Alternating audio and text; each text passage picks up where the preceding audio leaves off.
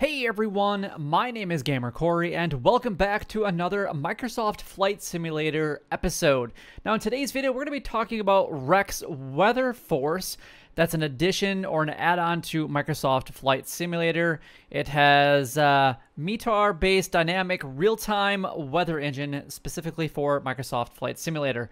Now, uh, I'm going to have the link down in the description if you guys would like to go ahead and purchase it. I I'm not an affiliate. I do not make any any money from actually putting the link down below. It is directly to a download where you guys can actually purchase it for yourself from their store. So I definitely recommend that you guys, if you are interested in purchasing it, that you just click on that and then, you know, you don't have to worry about giving me any type of affiliate profit off of that. So I'm just going to quickly kind of go over a lot of the different things. I have yet to purchase this for myself. This is just kind of an update letting you guys know that it is now available. And if you guys would like to purchase it, you definitely can go ahead and get into it. Now, there's a lot of really cool functions and features that are available specifically with, with the weather, making honestly Microsoft Flight Simulator the one of the best opportunities to experience the weather in any type of condition all around the world.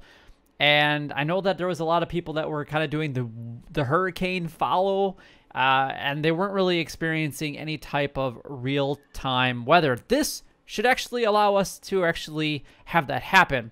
So you can actually do weather search. You can actually there's uh, it's it's unique. Uh, there's been a lot of tests and a lot of showcases where if you guys are going into different areas and it's a crystal clear sky, that's probably not accurate. It could be some kind of weather bug that is still happening within Microsoft Flight Simulator, where if you put it on clear sky and then load up Weather Force, then it actually will populate whatever the real weather is in that specific airport. So Maybe it's uh, maybe it's foggy. Maybe there's just a few scattered clouds. Whatever it might actually be, but it's going to be pretty cool to actually uh, to see all of this actually in action. Um, again, this is just a an overview of everything that you guys can actually see with it. You can track the weather. It uh, has a simple um, application interface behind the scenes and things like that. And then it obviously has different pictures about kind of what it should look like. So this is obviously depicting what uh, the weather engine inside of Microsoft Flight Simulator should be, or says it is, and this is what real life is. And then we got the crystal clear, like I was mentioning earlier. And these are some of the things I was talking about. And then there's a few scattered clouds. It has a few scattered clouds, but this is actually what it looks like, a lot more overcast.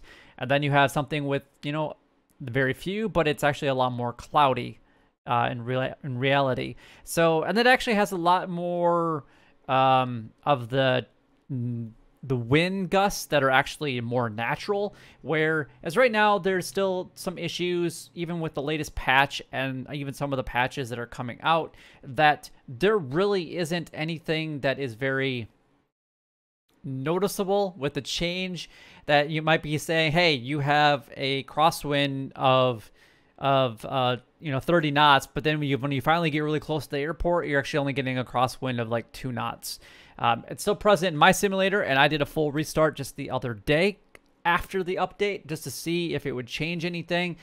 And some things got better, some things stayed the same. I can't say that anything actually got worse after the last update, but uh, that is kind of what it is. All right, so I'm just going to quickly go over everything, which we kind of been already kind of have anyway.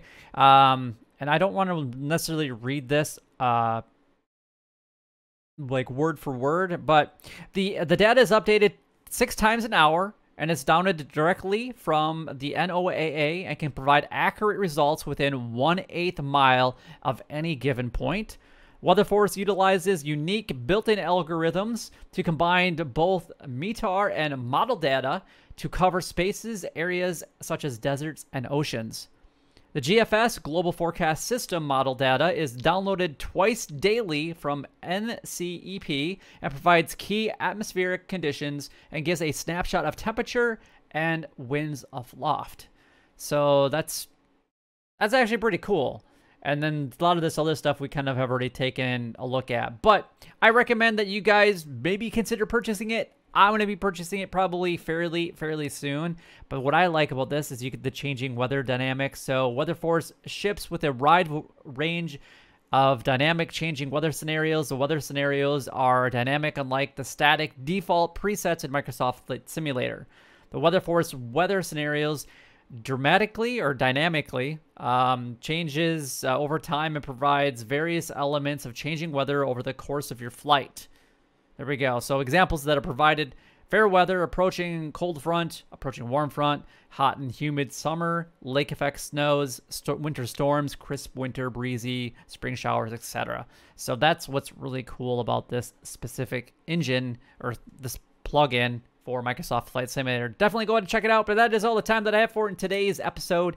If you guys did find it helpful or enjoyable, then make sure that you guys go ahead and like, comment, and subscribe down below. It would help me out a lot and it's greatly appreciated. But until next time, YouTube, you guys keep doing what you're doing because you're already doing it, and you guys stay gaming.